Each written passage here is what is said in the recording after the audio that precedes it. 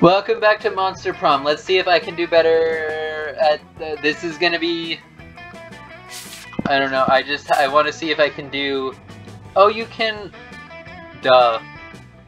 Yeah, for sure that makes sense. Let's unnegative my smarts.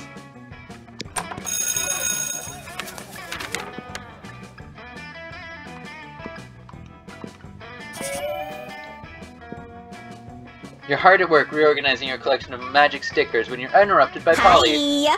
Hi, can you help me with my homework? I have to write an essay on the perks of being a ghost. But I am a ghost, you know, so I've never stopped to wonder what the best part is. Now I have to examine my life, and it's kind of launching me to an existential crisis. What is the true nature of the self? Is the mind separate from the body? What does it mean to be alive? Which is weird to worry about, because, like, I'm not alive. I don't like thinking this hard. Thinking hard is how I died.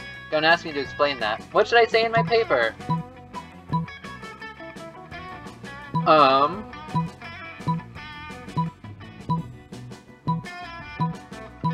I have pretty good boldness.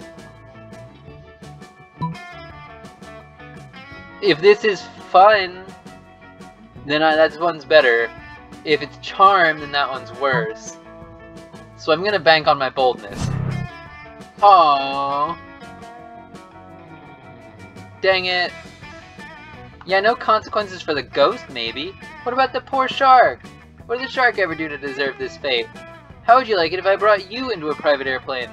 Actually, you would like that. Grabbed onto your body, it's getting better, and sent you free falling into hot lava. You should have anticipated that twist ending, probably. So, so rude. You know, some of my best friends are ghost sharks, and boy do they have stories about people like you. Ah, yes.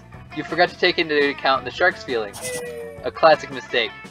And now Polly is upset about your... your... Whatever. I lost two char- Nugget! I have negative smarts again. Let's go. Polly! You arrive at Polly and Vera's table to find them eating. Wait, both of them? Oh, yum yum, I sure do love food and eating. Look at this food go in me. Hmm, yes, this cafeteria Sloppy Joe truly has a subtle flavor profile. Finally, you notice the cause of this absurdity. A well-dressed businessman sitting at the next table, watching both women intently. Oh yeah, I know you like this baby. My eating is realistic and erotic. Be cool, Polly. The man wants to pay for us eating in front of him, not screaming about eating. Is this not what eating is? I forget. While Vera tries to explain eating to Polly, the businessman shyly approaches you and gives you a small bow. Much obliged, friend, he says in a soft voice. Are these two fine ladies your friends?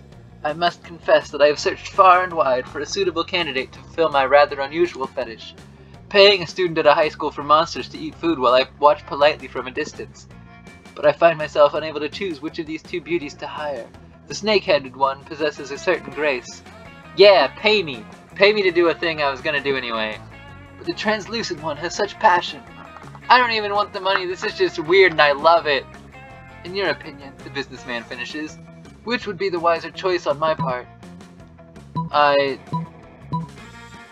Obviously, Polly, I've never seen someone eat so convincingly. The businessman nods thoughtfully. You know, you're right. Never before have I believed so fully that someone was actually eating real food.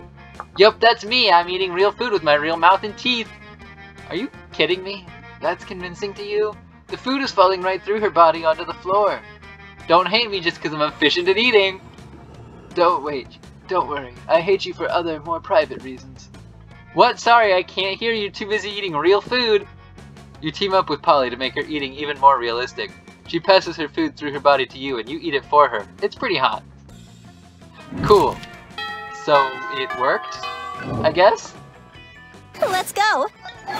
Okay. Well, we somehow have negative smarts again, which seems like a bad choice.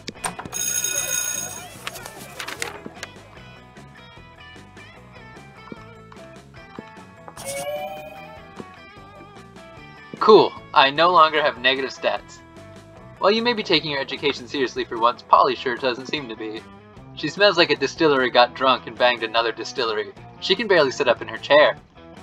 The teacher asks her what the capital of Spain is. Eleven! Oh wait, nope, nope, that's wrong. I meant X, where X is the correct answer to this question. The teacher stomps over to Polly's desk, grabs her by the chin, and sniffs her breath. Polly, she asks, are you drunk in class? Uh-oh. This is one question with no right answer. You better cause a diversion before Polly gets found out. Uh, release the ferrets! you pull the cage out of your backpack marked, in case of emergency, release ferrets. The ferrets spread everywhere, crawling up skirts and biting ankles. Everyone, everybody's screaming and jumping up on their desks. Nah, Teach, I'm not drunk. There's just ferrets everywhere. I'm allergic to ferrets or whatever. It seems like a reasonable excuse in this context. Class ends early so that Crazy Martin the Werebear janitor can bring in Abercrombie the pest control snake. You gain plus 2 boldness, plus 1 fun, and Polly's eternal gratitude. Hey, don't do that. Let's go. Okay. What stats do I still need?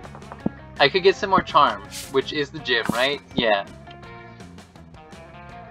Just for the sake of... to have it.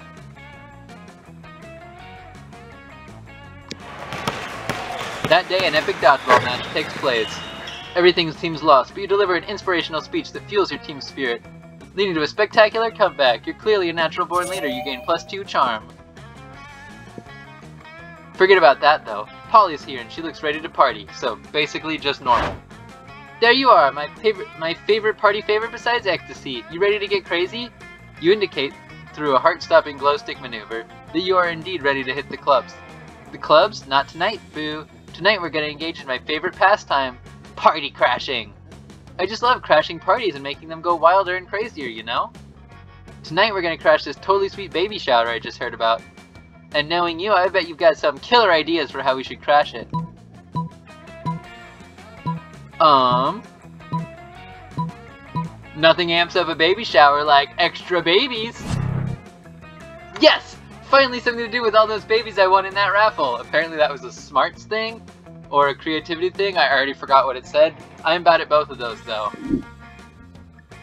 Uh-oh. But on the way to that party, the police pull over Polly's dump truck. Oh no, the cops! I'm not going back to jail! I mean, I could just walk through the walls like last time, but it looks bad on my college transcripts. Polly disappears, leaving you the sole owner of a dump truck full of babies. In order to keep the cops all the, off your back, you have to accept, adopt all 407 of them, leaving you with much less time for romance. You lose two charm and one money. Dang it! So I had a net loss of, a, a net, my net change was minus one money this turn.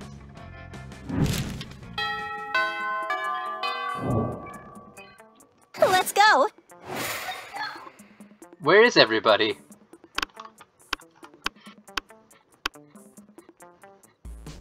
I'm gonna bother you. Hey, stranger. You don't have guacamole, do you?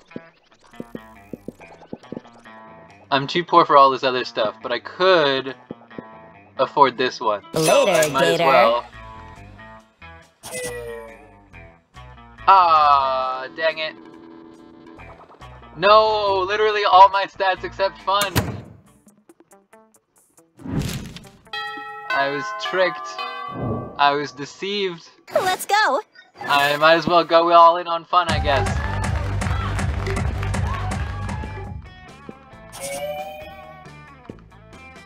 I have fun and only fun. Okay, so you have the marbles and the penguin mask. You posted a tweet a while ago begging for a kilo of guacamole. You promised a handsome payment. I don't have any money. And today is the day that paid off. Someone with the clearly fake account, Wilkinson Romania 69, has DM'd you. You have arranged a meeting at the outskirts of your school where all shady deals take place. Boy, this is complicated. If only you could buy guacamole at the supermarket or the pharmacy. Elders usually tell stories of how it was done that way centuries ago. The good old times. While daydreaming of days when guac was easier to get, you bump into at Wilkinson Romania 69, who turns out to be none other than Liam. Hey, heard you needed some bespoke sex supplies. What? I've lived for many centuries. Of course I know what a reverse Romanian Wilkinson is, not to mention where to find some good guac. I'm all in for the people to really explore the limits of their sexualities and the potential uses of avocado. But this is going to cost you, my fellow friend. Um... I literally only have fun.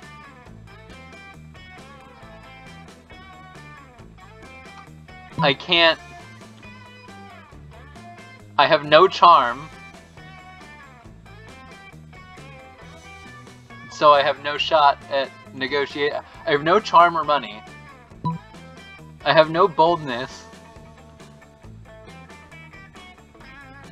This one's the only one that might use fun, though. All my other stats suck.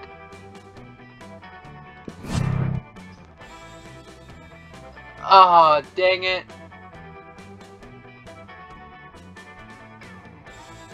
This one was charm?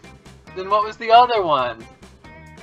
Are you kidding? Do you realize how much indie cred that would give me? Like, I can't just go telling everyone I carry around guacamole for sex reasons. That would be trying too hard. But if I can get you to do the bragging for me, let alone the free publicity for my exotic ventures and artistic... What an ignoramus. No! Dang it! I think I failed again. Because I couldn't get guacamole because I bought coal. Because nobody was in the lunchroom. This one didn't feel like my fault. I'm mad about it. Hey, Boo! Let's go! I'm gonna get laughed at again. Yeah. Bye! No way, Boo!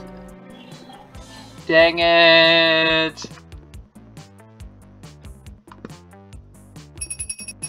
Dang it! I literally only had fun and negative smart still at the end.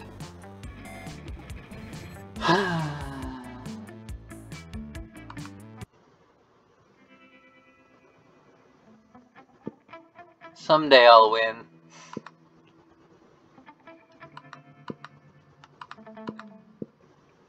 Polly's drug cooking skills proved useful and she became a chemist for the pharmaceutical industry. But in her free time, she still cooks the real stuff. Her greatest inventions so far are watermelon flavored ecstasy and a thing called Ellis Dope. Damien became an interior designer specializing in torture machines. Last month, Vogue magazine called his products the refined marriage between macabre and chic. Liam honed his most admirable skill and got a job with it. He now designs momentgram filters. Yeah. Dang it. I feel like I would have had a shot if I hadn't lost literally all my skills by buying coal.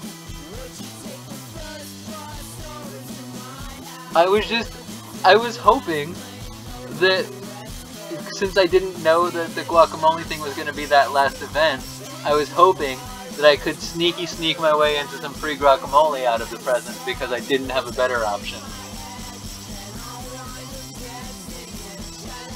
Uh, someday I'll win. It just wasn't today, I guess. Because I am not allowed to win. Ever. Okay, I'm being extra overly dramatic about it for no reason, but... I... Dang it! I did my best. But unfortunately, I failed again.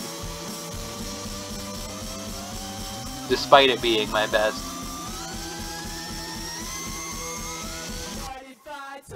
I even had pretty good stats all around up until I got them all zeroed out.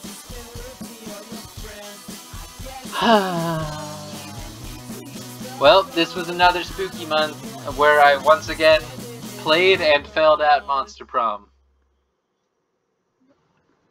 Bye-bye.